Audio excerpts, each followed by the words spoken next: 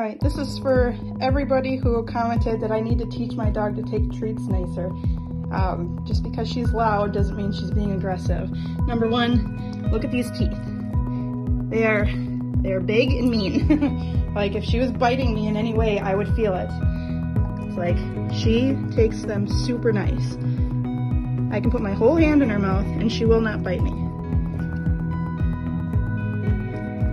All my fingers in, no biting, nothing. Just super nice.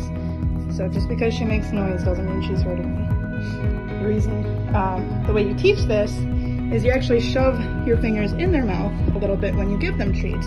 Because when you pull back, the dog is going to lunge forward and try to get it because you're taking the treat away from them. So the way you combat this is you put it into their mouth and then that way they kind of pull back a little bit and they learn that your fingers are always going to go in their mouth.